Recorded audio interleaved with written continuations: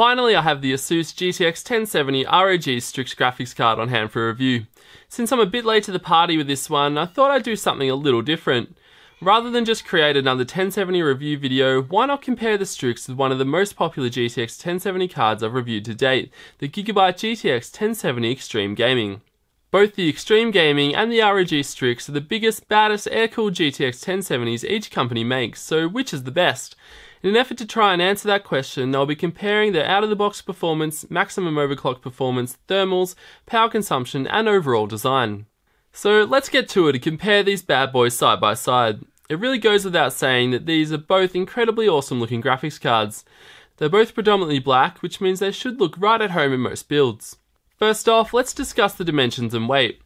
The Xtreme Gaming is the physically larger card, despite being slightly shorter at 289mm long versus 298mm for the Strix. The Xtreme Gaming is also much heavier, around 10% heavier in fact, as it weighs 1,147 grams as opposed to 1,045 grams for the Strix card. Both graphics cards have been given a little extra height to facilitate the PCB and cooling upgrades.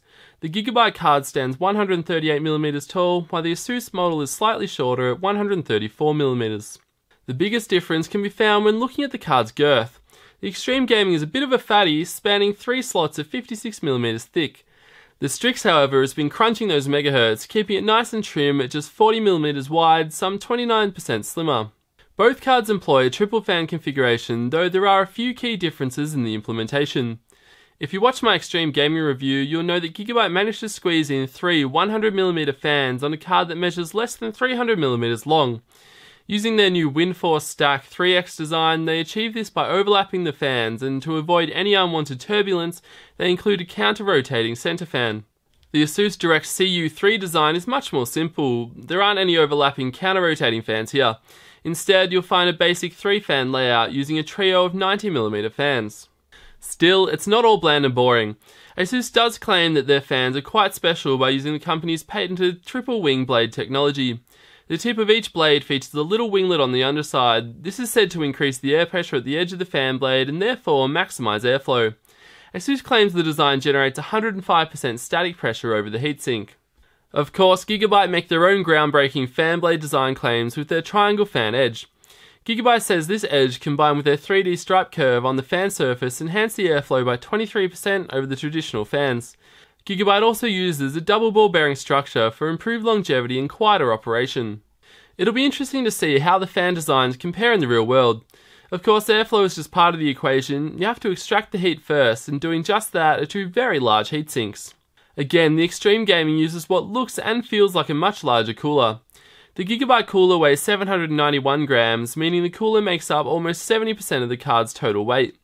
This also means it weighs 20% more than the cooler found on the Asus Strix card, which is pretty shocking. The Strix cooler weighs 658 grams, which is a little over 60% of the card's total weight.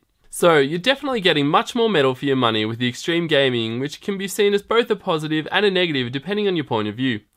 From a positive aspect, this should mean superior cooling performance for the Gigabyte card. The negative, though, being this is a bigger, bulkier, heavier product, which could cause unnecessary load on the motherboard for those that move their system around. Apart from the physical size difference, the design of the coolers is fairly similar. Both employ a number of heat pipes connecting to two separate series of aluminium fans. Asus does use direct contact copper heat pipes for the base, whereas Gigabyte has gone for a separate solid copper base. Moving on to the PCB designs, we find two very high quality products. Gigabyte has gone with an extreme 10 plus 2 power phase design, while Asus has gone with a more typical 6 plus 1 phase design. That said, Asus uses their Super Alloy Power 2 components, and I mean, check out the logo on those chokes. They have to be good, right? Seriously though, Asus is claiming that these new chokes are two times quieter than the previous designs, which significantly reduces the buzzing noises coming from the graphics card. Which design is better, I really have no idea, but I will be keeping an ear out for coil whine noises. Along with what appears to be the more extreme VRM design, Gigabyte has also added in an additional 6-pin PCIe power connector, while ASUS is stuck with a standard single 8-pin PCIe connector. Something interesting on the Strix card is a feature called Fan Connect. This is essentially a pair of 4-pin fan headers that allow users to connect their case fans to the graphics card, allowing them to be controlled by the GPU's temperature rather than the CPU's. Gigabyte on the other hand has included a pair of HDMI outputs here for VR mode. These provide convenient access for front mounted VR modules, and this is a feature not found on the Strix card, so that is a feature worth noting for those planning on using their 1070 with a VR headset. Okay, so now we've taken a pretty good look at these GTX 1070s, now let's check the clock speeds before jumping into the benchmarks. The out of the box speeds see the Gigabyte model operating at slightly higher frequencies when compared to the Asus Strix card. The Xtreme Gaming is clocked at 2% higher, while its GDDR5 memory operates at 28% faster. This then should give Gigabyte the advantage when comparing the stock performance. When manually overclocked, both achieved a base clock of well over 1.8 GHz. The Gigabyte card managed 1844 MHz, while the Asus went a bit higher at 1865 MHz. Although the Strix card did achieve the higher overclock, this isn't conclusive evidence that Asus will win every time. Sadly, it's only feasible for me to test a single card from each company. So, let's get into the results. First up, we have an old favourite, Battlefield 4. Here the Xtreme Gaming averaged 94 FPS, making it just a single frame faster than the Strix card, which is within the margin of error. Overclocked, Asus does hit the lead as their Strix model outperformed the Xtreme Gaming by 3 FPS. We find much the same when testing with Far Cry Primal. The Xtreme Gaming is slightly faster out of the box, though with just 1 FPS in it and the same 56 FPS minimum, we can safely call this a tie. Overclocked, we find once again that the performance is much the same, this time Asus came out on top by a single frame. Since we've established that out of the box and custom overclocked, the performance of these two graphics cards is virtually identical, Star Wars Battlefront is going to be the last game we look at. Here the Asus Strix was 1 FPS slower out of the box and 2 FPS faster once overclocked, so again very similar to what was seen when testing with Battlefield 4 and Far Cry Primal. These two graphics cards are again evenly matched when comparing power consumption. The Gigabyte Xtreme Gaming allowed for a total system consumption of 249 watts, while the Asus Strix card was slightly higher at 251 watts.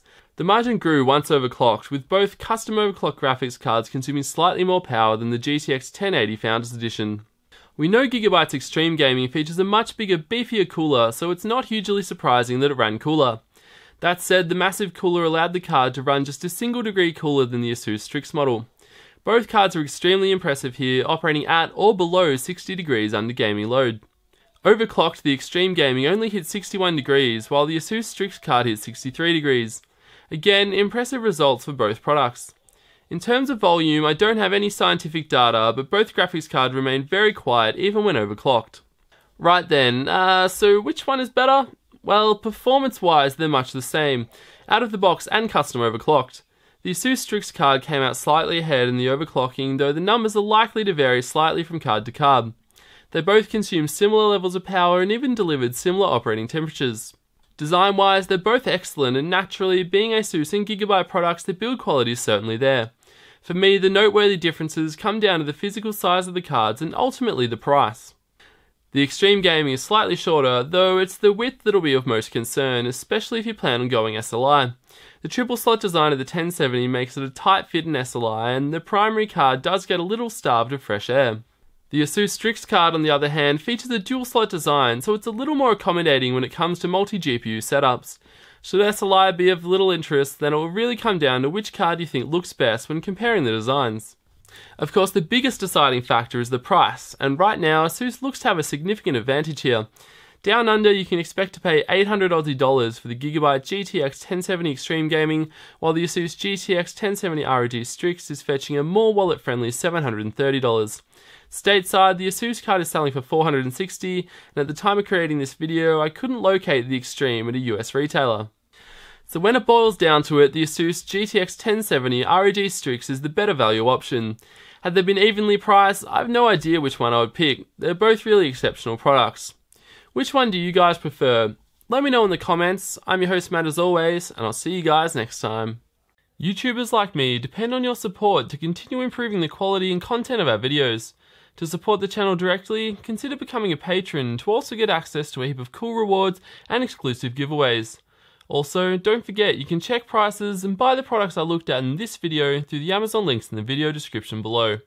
Thank you kindly for supporting me and the Hardware Unboxed channel. It means a lot to me and I really do appreciate it. And in return, I'll continue to work as hard as I can to keep producing the content you enjoy.